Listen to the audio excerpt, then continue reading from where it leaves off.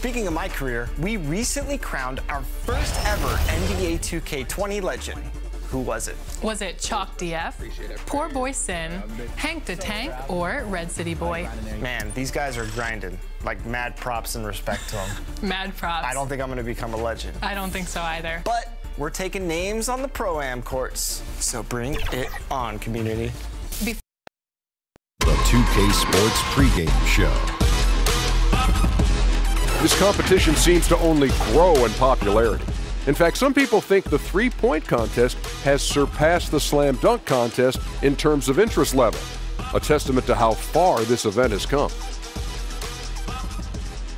And at this point, Shaq, there are so many great shooters in this league, it's hard to leave certain guys out of this event. Yeah, a few of the selections may have been close calls, but we all know who the favorites are.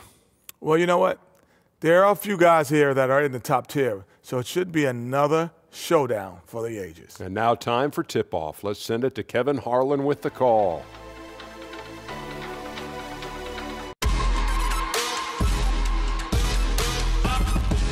Welcome to All Star Action, everyone. Kevin Harlan, happy to be here with Clark Kellogg and Greg Anthony. Next up is the three point contest where tonight. One NBA sharpshooter will add his name to a trophy that contains a who's who of the best long range bombers in league history. And as with all the All Star festivities, the three point contest is about having fun, a good time. But still, that doesn't mean the competitive juices won't be flowing. And make no mistake there, guys. These guys are in it to win it. There's a lot of pride on the line when you're up against your peers in an event like this. And so we'll see Stephen Curry. Five racks with the last rack composed of all money balls. Those are worth two points instead of just one. All in all, a max possible score of 34. And 60 seconds to take all 25 shots. Not a ton of time. As soon as one shot is out of your hands, you have to be ready to get off the next. A hot start is pretty essential, isn't it? I mean, it seems like we rarely see guys recover from a bad first rack or two. Yeah, I, I think you hit it right on the head because oftentimes you're putting more and more pressure on yourself to perform, and it is hard to shoot with confidence when you do that.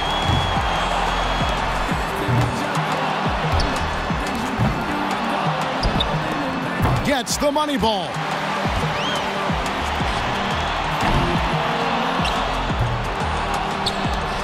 That gives him 12. Down to the money rack. Make that 14. Now up to 18. He tallies 18 points. Guys, hard to find any fault with that display. And he really had it going. That's what you call going out on a high note. And so we'll see James Harden. Fellas, 25 shots in 60 seconds, that's a lot. One of the hard things, I'm sure, is staying focused all the way through that 25th shot. It absolutely is. And with the end in sight, players can suffer a letdown and, and not close out the round as strong as they should. Drains the money ball. Now with six. Oh, Harden starting to feel it. Eight points. A three-point rack for him right there. Now nine points. Ten points on the board. Gets the money ball. Nice finish. Well done.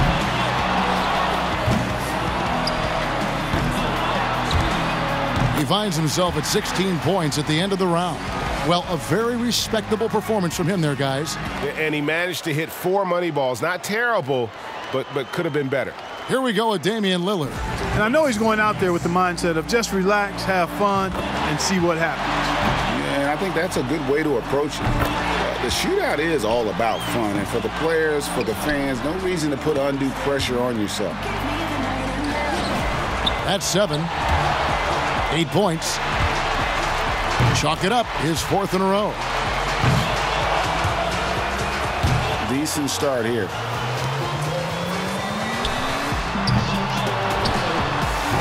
That's four misses in a row. Off the mark with five in a row now. Oh, come on now. Drains the money ball.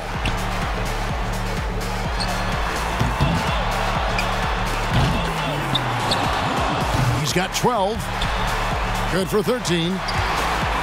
Money ball, no good. Make that 14. Up to 15 now.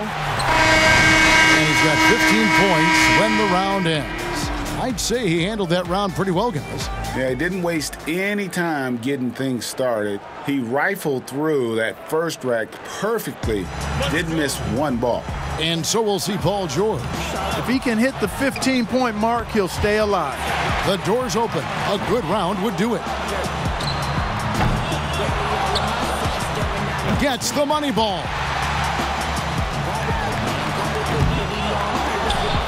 Now with four. He's got five. Now with six.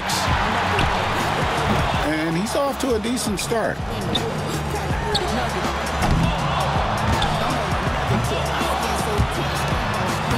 That's four misses in a row. He needs eight points more to stay in contention. Only managed to sink one there. Seven more points to stay in contention.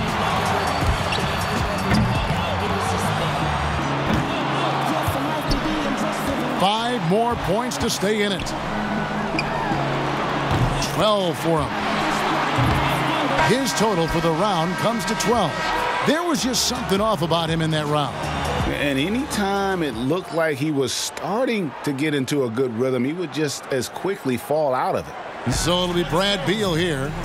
And Brad Beal, renowned in high school for his outside shooting, he was just solid. Not, not really great at Florida, but you figured he'd come around. He needs at least 15 here to stay alive.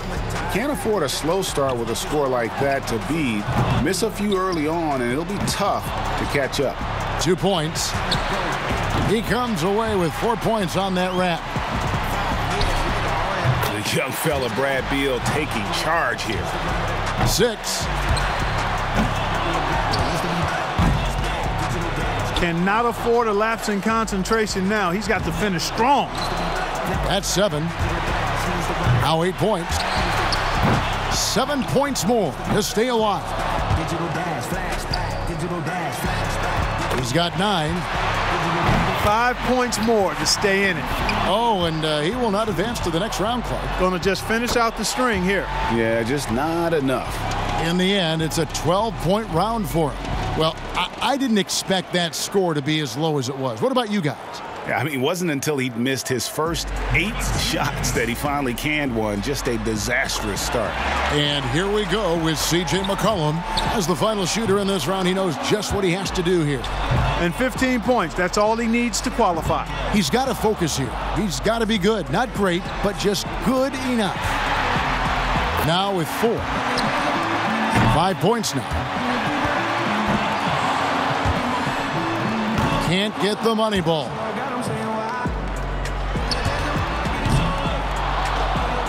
Six. He needs eight points more. Drains the money ball. Four more points to stay alive. Not just 13. That shot ties him for third. He's tied for second. He gets his tally up to 16 points. He turned in a pretty good round right there, don't you think? By the time he got to that fourth rack, he was feeling it. He sprayed home the entire rack. That jumper was wet. Curry's got the best score in the qualifying round, guys. I'll bet he's excited for the finals. With the strong group we have moving on to the finals, I'm expecting a very competitive last round. I'm with you on that one. I mean, I'd be surprised if this doesn't go all the way down to the last rack. Here we go with James Harden.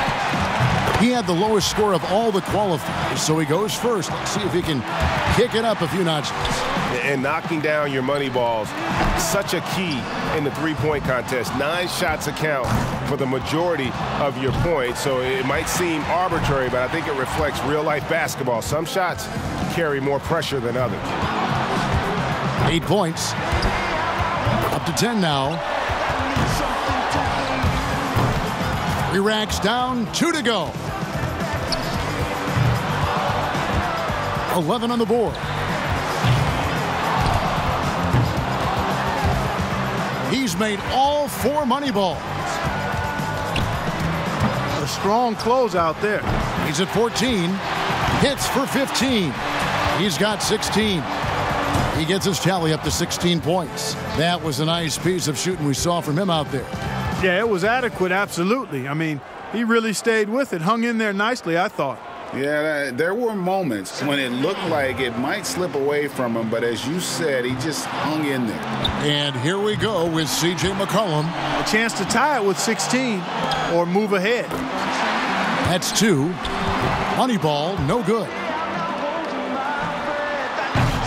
Three down.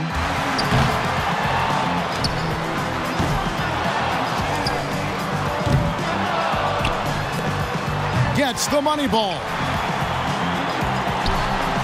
That's seven. Seven more points and he'll tie it. Two racks to go. Five more points to tie it up.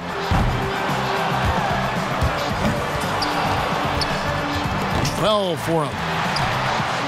Last rack, he just needs one more money ball. Up to 15 now. Tremendous. 16 points is his score for the round. I'd say a solid showing from him. They put that third rack to bed in a hurry. Just about the fastest six points you'll see in the shootout. And so here's Curry now. We've reached the climax. He's got one last shot to go home with the trophy. And it's 17 to go ahead, or at least 16 to tie it up. Steph catching fire now. He's in the zone.